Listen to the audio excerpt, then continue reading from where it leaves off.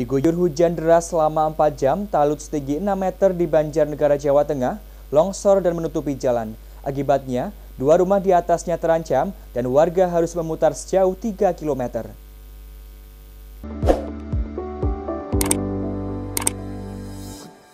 Hujan deras yang mengguyur Banjarnegara, Jawa Tengah mengakibatkan talut setinggi 6 meter dengan panjang 7 meter di Desa Kebutuh Jurang Pegedungan longsor.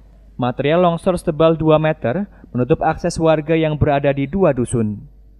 Meskipun tidak memakan korban jiwa, namun dua rumah yang berada tepat di atas talu terancam longsor, dan hingga saat ini tanah masih terus bergerak.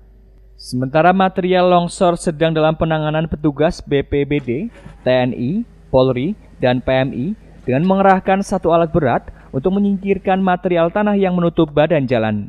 Terus akibat dari longsor ini seperti apa Pak? Ya akses jalan penghubung beberapa kadus di desa Kebutuh Jurang sama Kebutuh Dur ya terputus. Hmm. Terus Itu akses warga gimana Pak?